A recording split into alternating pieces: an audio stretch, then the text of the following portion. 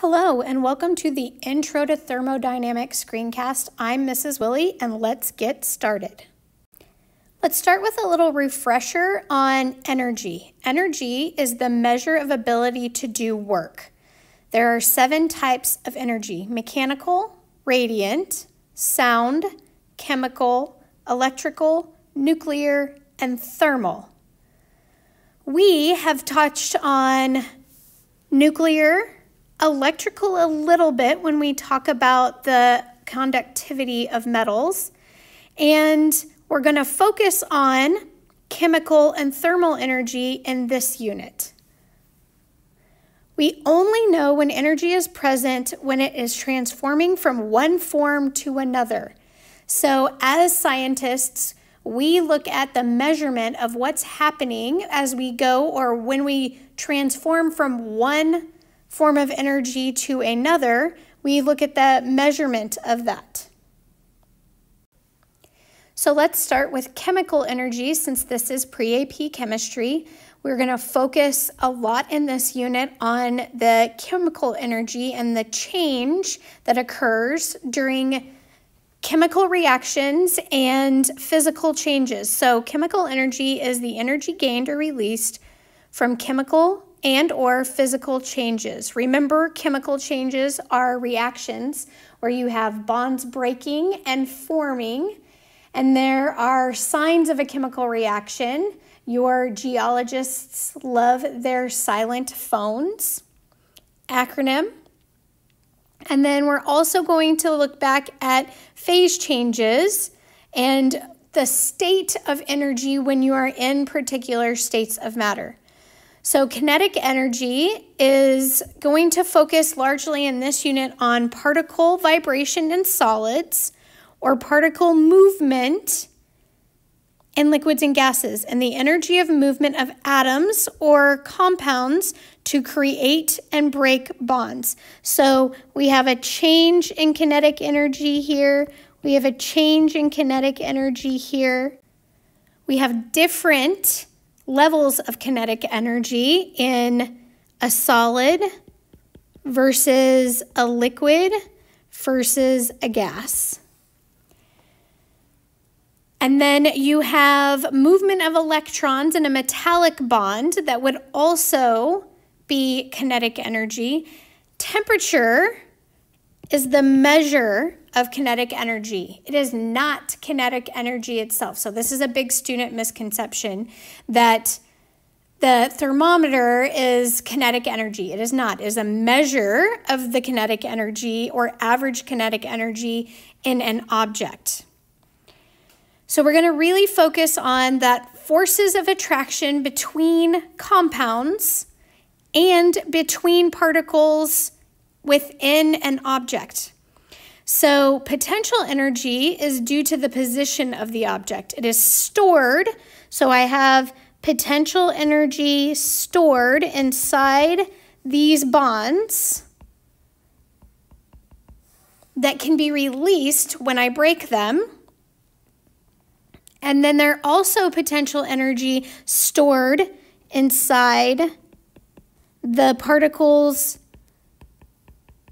as you go through states of matter. And in fact, as you go through the state, that's when you have a change in potential energy. Strong bonds have low chemical energy, and weak bonds have high chemical energy. So that is why you have a low or weak chemical energy in a gas, but combustion reactions usually yield high amounts of energy. It's due to that contradictory thinking in that there is a weak chemical attraction which allows you to release large amounts of chemical energy.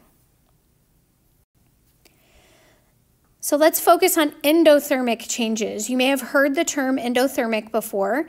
The system absorbs energy from the surroundings. So the container that's holding the system, so the system is what we're looking at as a scientist, could be anything. This could be an object, this could be a reaction. So you're contacting, you're touching the surroundings, not the system. Therefore, that system is absorbing your energy, and that is why it feels cold. In a chemical change, the potential energy of the products is greater than the potential energy of the reactants.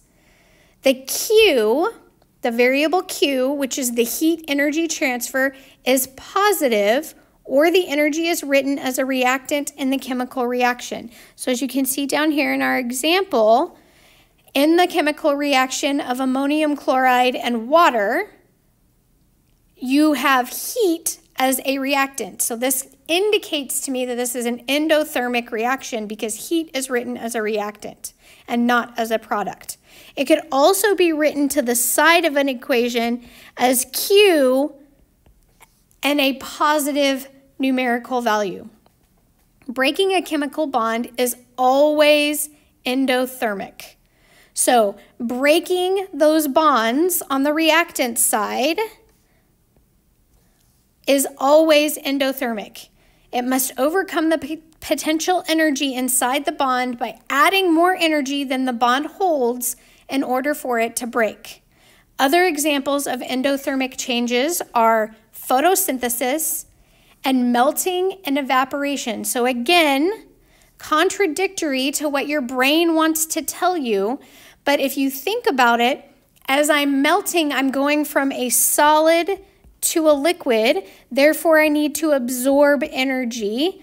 The same as I'm going from a liquid to a gas, I would need to absorb energy to do so. So the flip side of this is an exothermic change. This is where the system releases heat to the surrounding. So now I'm looking at an object or a chemical reaction, and as I touch the container, the container is going to feel hot because the system, whether that be an object or a react chemical reaction, is now releasing energy in the form of heat to its surroundings. We are the surroundings. In a chemical change, the potential energy of the reactants is greater than the potential energy of the products. Therefore, that Q value, the heat energy transfer, is negative or it's written as a product. So in the carbon tetrahydride plus oxygen reaction, you can see this is combustion because I have oxygen as a reactant.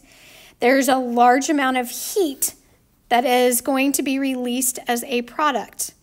So I could also write this over as Q equals, and this time I'm going to have a negative value, a negative numerical value.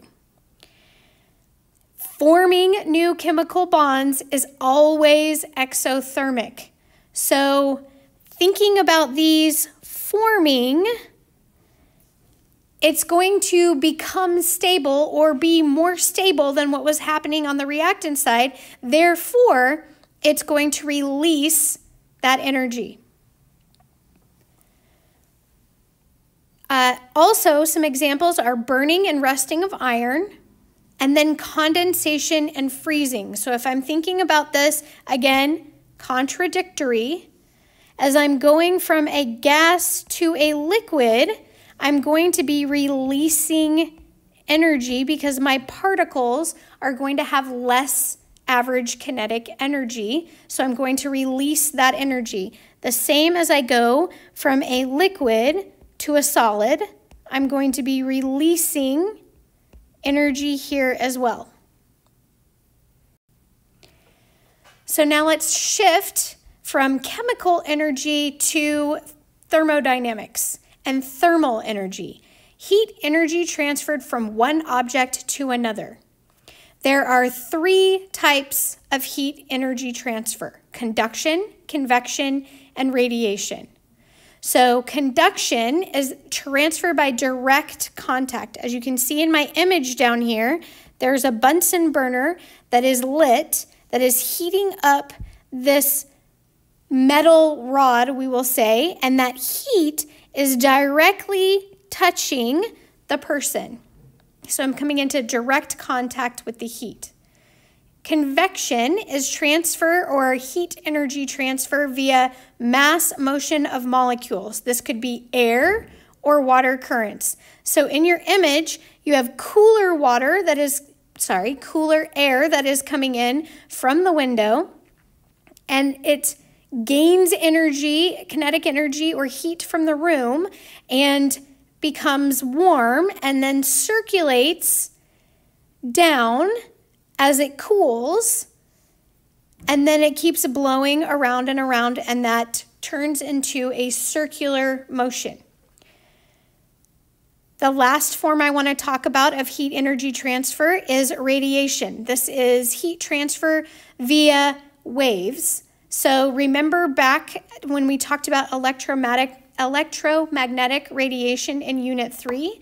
This is exactly what's happening here. So think there are waves coming off of that campfire that you feel as you're making s'mores on the campfire. So, another great example that shows all three forms of heat energy transfer is when you are heating water on a stove. So, the metal pot that you are heating comes into direct contact with the stove, the heat here. And then the cooler water is on the bottom and it circulates up. It's, as it gains kinetic energy, then it falls back down as it cools and creates those convection currents in the water.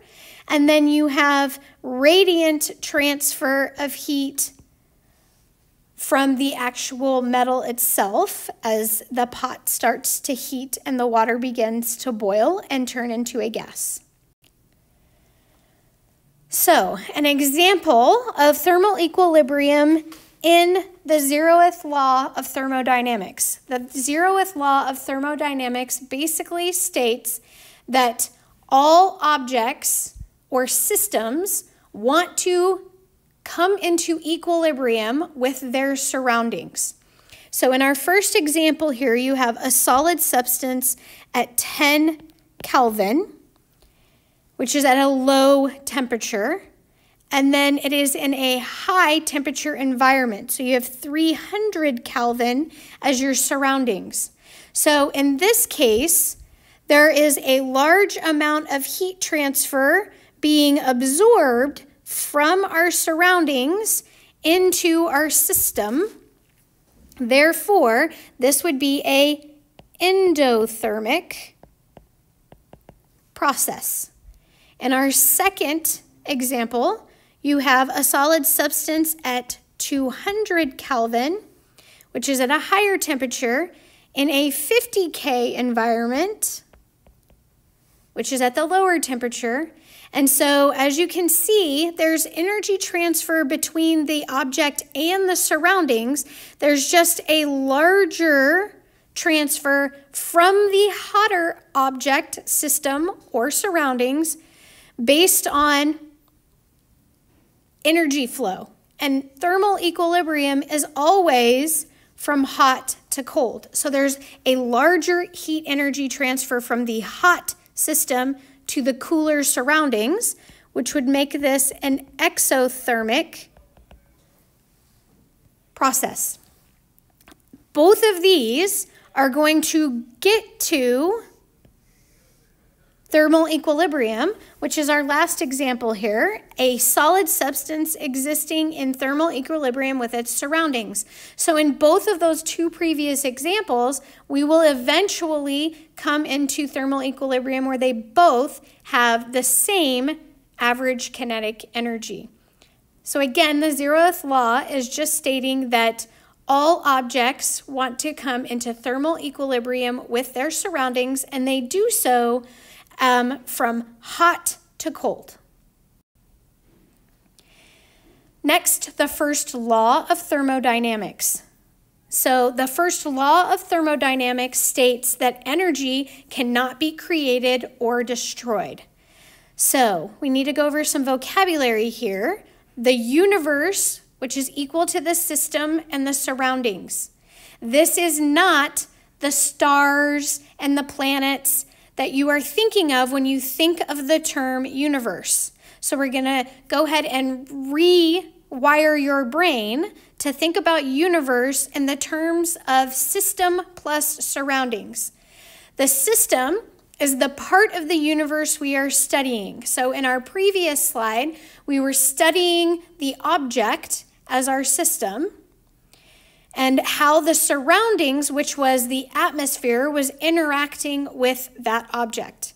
As chemists, we look at reactions, um, so chemical processes and changes, and then we're also looking at physical changes and processes because in both of those cases, we have forces of attraction, both in chemical bonds and in uh, forces or bonds between molecules or formula units. Surroundings is literally everything else. So, everything else that is in and around your object that you are studying. If you are in the room in our last example, you are part of the surroundings. So the total energy of the universe remains constant. So you have heat transfer between the system and its surroundings. We usually measure temperature changes in the surroundings because it's easier. You do not want to stick your fire directly, or your sorry, your hand directly into a fire to try and determine what the temperature of that fire is. So we're going to measure the temperature of the surroundings around the fire because it is easier to do so. So let's do an example together. Which sample has a higher average kinetic energy to start? So I'm looking at this glass of water that has an ice cube over here. So the liquid water is at 25 degrees Celsius and the solid water is at negative 5 degrees Celsius we know that the higher the temperature, the higher the average kinetic energy. So we're going to say that the 25 degrees Celsius liquid water has a higher kinetic energy to start. And then your negative 5 degrees solid water is going to have lower kinetic energy to start. So, which sample loses heat to the other? So, we have to think about this. Which one is losing to the other? We know that hot goes towards cold, as from the zeroth law of thermodynamics. So, that means that the liquid water is going to be losing heat to the solid water. So, the liquid is losing to the solid.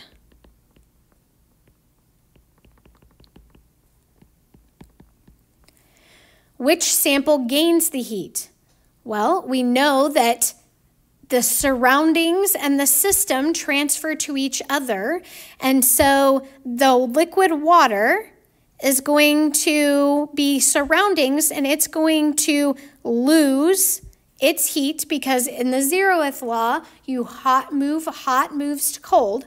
So the solid water is going to gain the kinetic energy or absorb the kinetic energy being given off by the liquid water.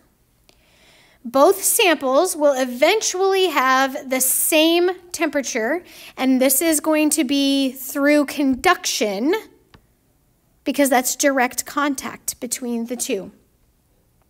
And what range will the final temperature be? So we know that these are going to be eventually be the same temperature. So that temperature has to be somewhere in between the negative 5 and the 25 degrees Celsius. The system is our solid water. The surroundings, because that is what you would contact, is going to be the surroundings.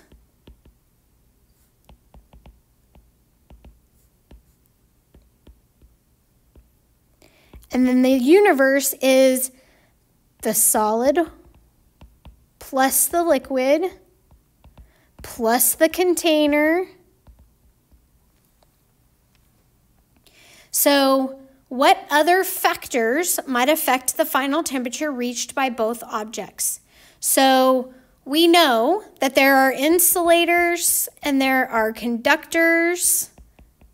So, the material at which the container that we're studying this system in is going to definitely affect whether or not we have a direct heat transfer between the liquid and the solid or if we're losing kinetic energy through uh, radiant heat from the outside of the container. So we know that there are going to be times, plus there is no lid on our container, so you're going to be losing energy to the surroundings outside of the container. And so we know that this is not a perfect system and that there are flaws. But for our purposes in an introduction, we are going to do everything we can as scientists to limit the error and the loss of heat transfer. I hope you enjoyed this screencast, and I will see you next time.